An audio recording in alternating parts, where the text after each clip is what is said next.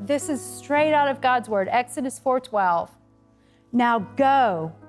I will help you speak and teach you what to say. You need to write or speak or lead. Go, aim your life, pick up the arrow that God has laid before you.